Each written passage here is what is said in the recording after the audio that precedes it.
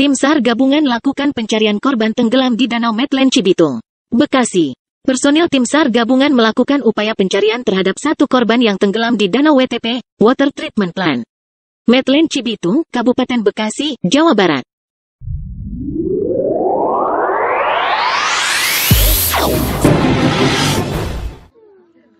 Korban yang diketahui berinisial Zendo Ryan Pratama, 14 tahun, tenggelam pada Minggu, tanggal 7 Januari tahun 2024, sekitar pukul 11 waktu Indonesia Barat ketika sedang berenang bersama teman-temannya di kawasan danau tersebut.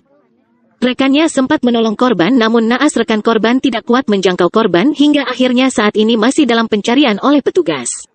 Selebesmagazine.com Siang ini kita kerahkan personil rescue dari unit Siagasar Bekasi untuk melakukan upaya pencarian korban bersama unsur SAR gabungan, Tegas Fasli, SAP, MSI. Kepala Basarnas Jakarta selaku SAR Mission Koordinator, SMC, dalam operasi SAR. Dirinya juga menegaskan bahwa upaya pencarian dibagi menjadi dua area di mana tim pertama melakukan upaya pencarian dengan penyisiran menggunakan perahu karet serta melakukan proses penyelaman hingga radius 10 meter dari lokasi kejadian.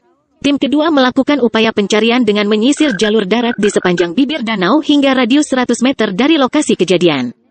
Upaya pencarian hingga petang ini korban masih juga belum ditemukan, kami akan lanjutkan pemantauan untuk penyisiran akan kami lanjutkan besok pagi, tutup Fazli. Puluhan personil SAR gabungan dikerahkan dalam pencarian di antaranya terdiri dari unit siaga SAR Bekasi, BPBD Kap Bekasi, Polsek Cikarang Barat, Koramil Cibitung, Security Medland Cibitung.